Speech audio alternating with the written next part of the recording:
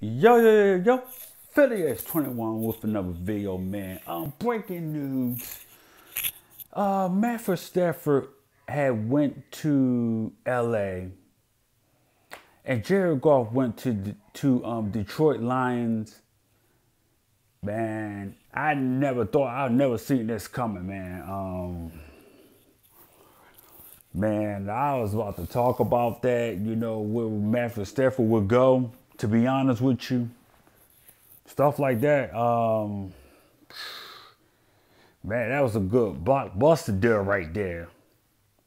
I never thought, see the light of day, that Jared Goff went to the Lions.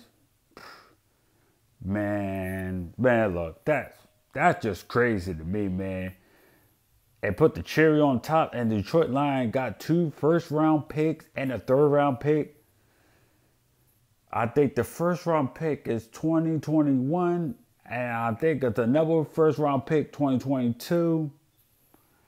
And the third round pick, I believe, is 2022, if I'm not mistaken. Man, I never thought I never thought I would see this this day would come.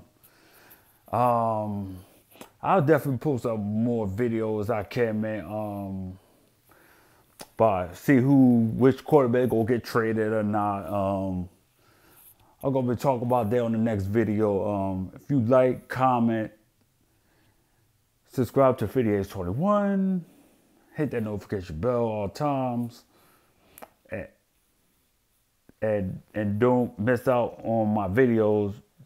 Deuces, and I'm out.